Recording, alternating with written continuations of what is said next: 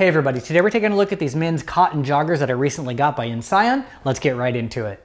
So this is what they look like laid out. Don't worry, I'm gonna try them on in just a second so you can see the fit and feel. But the material here, nice soft fabric. Yeah, when you feel it and pick it up and grab it, it's got some nice weight to it. It's neither thick nor thin. Got a drawstring up at the top, but it also has some elastic in the waistband. And then when we flip it over on the back side, we get a left and a rear pocket and a little badging that's already stitched into the right side pocket. All right, so this is what it looks like when they're on. The sink fit's great. It actually match my shoes nicely too as well. So fit and feel, I'm gonna give these a 10 out of a 10. These are a slim fit. It's not a skinny jean or anything like that. So I like that. It's a little bit form fitting, but it's not too tight. But I also don't like pants that are super baggy, right? So you can kind of still see a gap between the legs. Now we've got two front pockets up here that are actually really good size right? I've got a Samsung S23, so I've got a standard large size smartphone here, and so it slips right into the pocket perfectly. I don't feel like I'm lacking any space, but then I can also still put my hand in my pockets too.